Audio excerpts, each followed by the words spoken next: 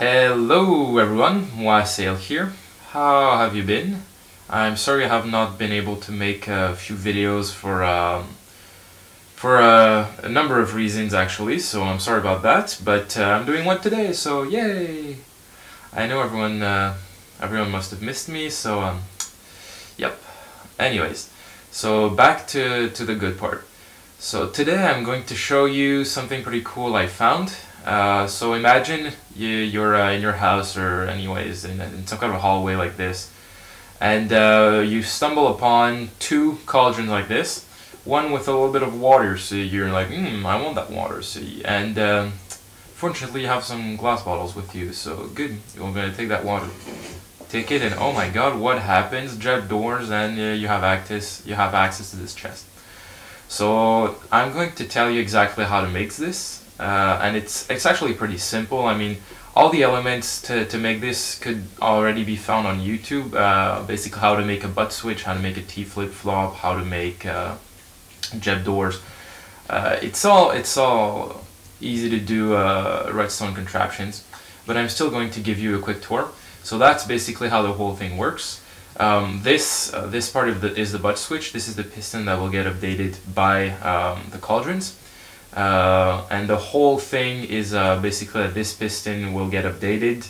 Then uh, the torch will power this repeater which will then unpower the torch. And uh, because uh, this is unpowered the piston will then retract. So uh, all that good stuff will give us a small pulse that will then good the, that will blah, blah, blah, sorry about that. That will then go into the T flip flop which will which basically works by unpowering these two these two torches and uh, it will toggle the T flip-flop. So basically this wool is on the left. So if we toggle it, let me give you an example. I'm going to grab a button real fast. Alright, so let's say we just toggle this T flip-flop real fast. Then it will go on the right and uh, the power would stay. It would then go all the way here, uh, all the way to the, the Jeb doors that are right here.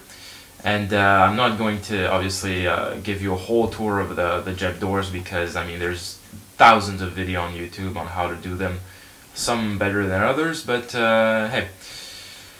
Anyways, uh, so that's basically how this whole thing works and it's um, the best thing about this is that uh, it's one of the few techniques to activate a redstone mechanism that actually requires specific items.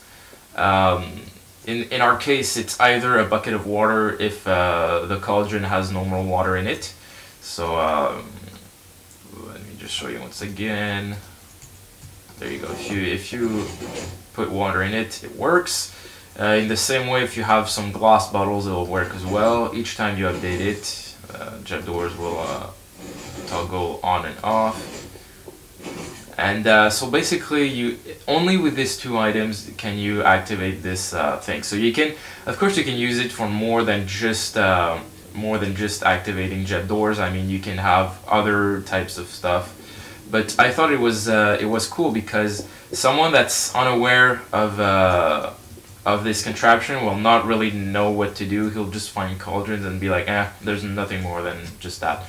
So uh, you actually just need some you actually need uh, a bucket of water or uh, some glass bottles.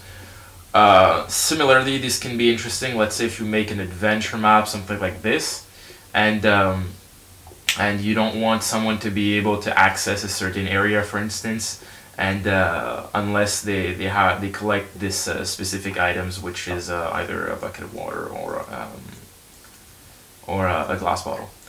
So that's it guys, I hope uh, you enjoyed the video and uh, feel free to leave a rating, comment, uh, tell your friends about it, uh, tweet it, I don't know what the, what the hell you can do, but, uh, uh, but that's it and I'm gonna see you next time.